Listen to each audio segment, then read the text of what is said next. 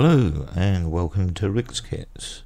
In this video, as promised, I am going to build the Borgward 4 Panzerjäger Wanze from Das Werk. Uh, it was reviewed in one of my other videos and I look forward to building this. So let's get cracking.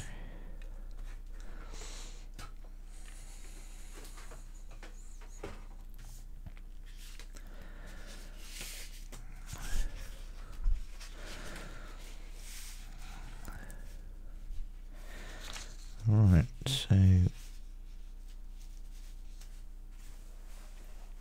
we're going to require the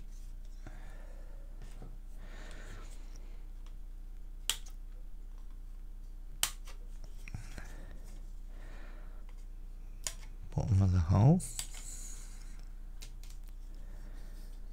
and the first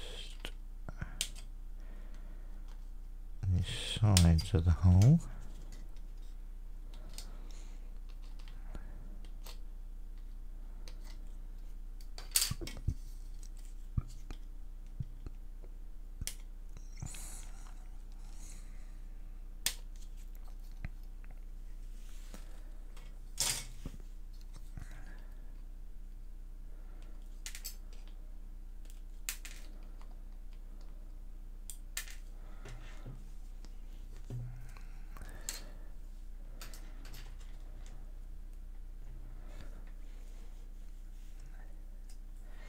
I'm going to do it slightly different to the instructions because the instructions are telling you to put the seat in and then put the sides on.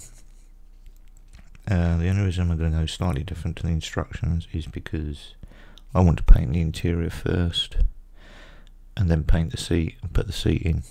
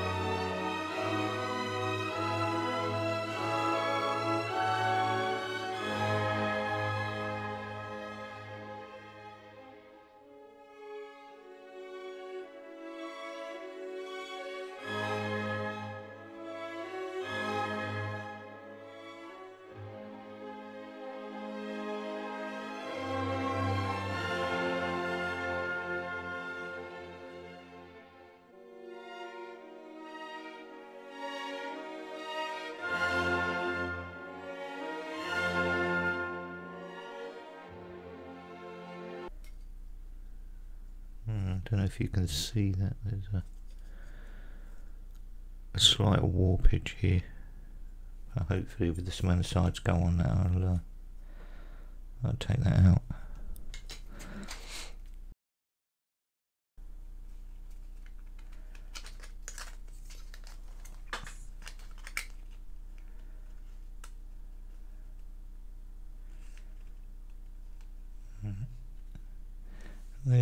Indication of the warpage.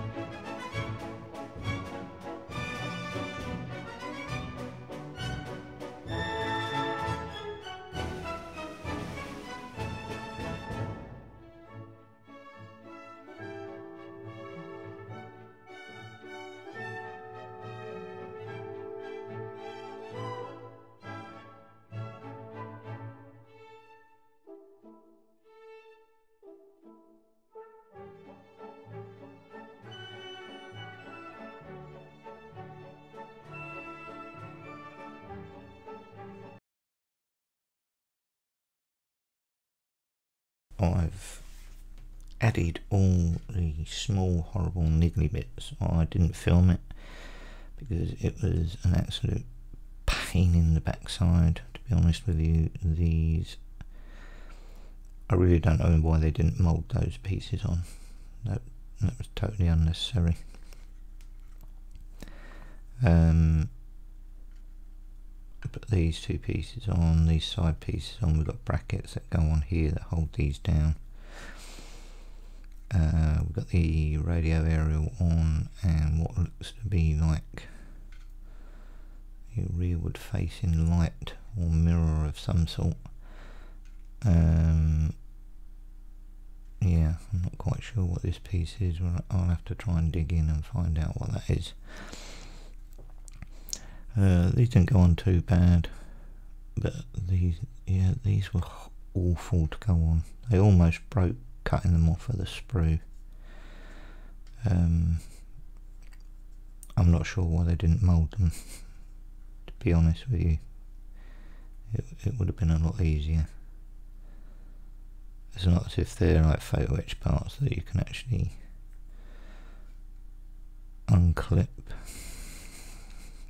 yeah, horrible, horrible, horrible. So we got the um, we got the driver shield glued up. That will be going on there. We don't drop it on the floor and break it. Uh, then we have the Panzerbush operator shield, which will go on here, and we've got the bracket to stick on the side there told the Panzerbush. Uh, the next stage on from that is the part that I'm not looking forward to. And that is putting those on link and length track. This size scale kit in my opinion and this is my opinion they should have been rubber bands. They're too tiny to mess around with but I've got to. Okay. Excuse me. So let's crack on.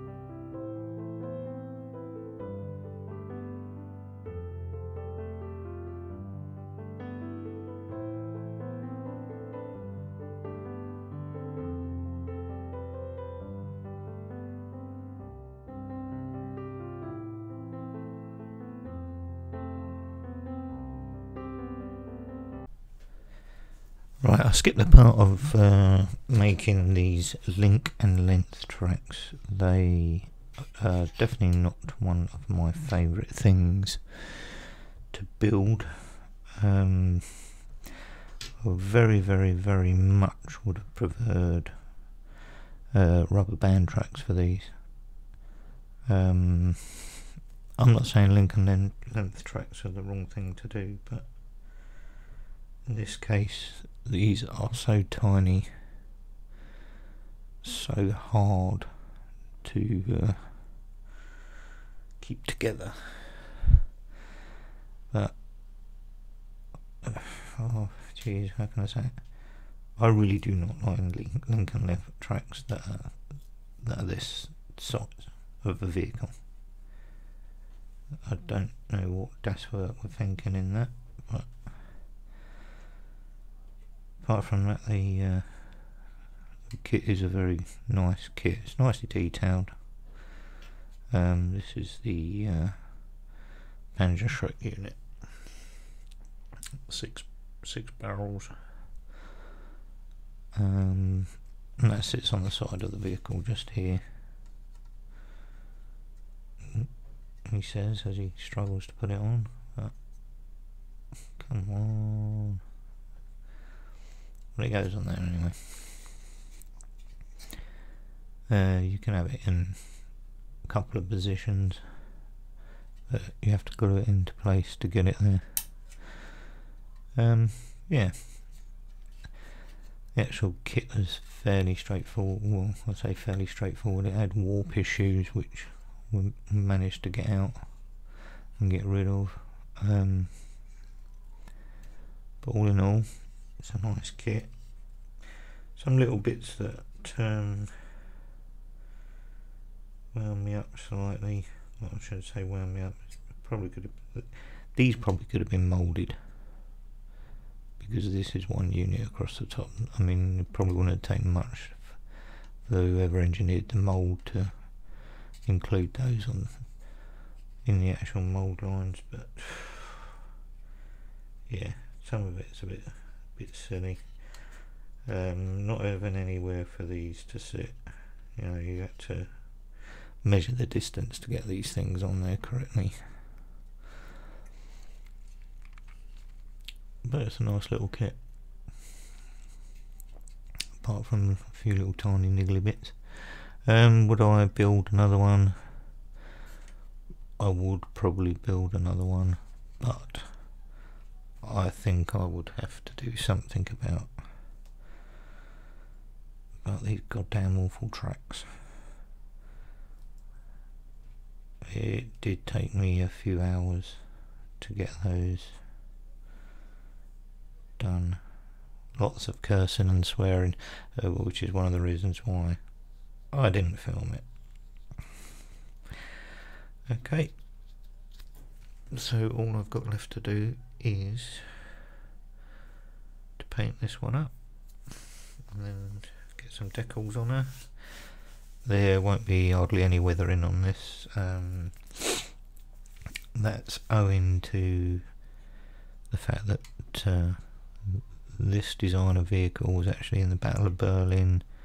Uh, there was 56 of them, so apart from a little bit of dust maybe, you're not going to find much wear and tear on these things. So painting is the next step. I'll see you when I'm ready to paint.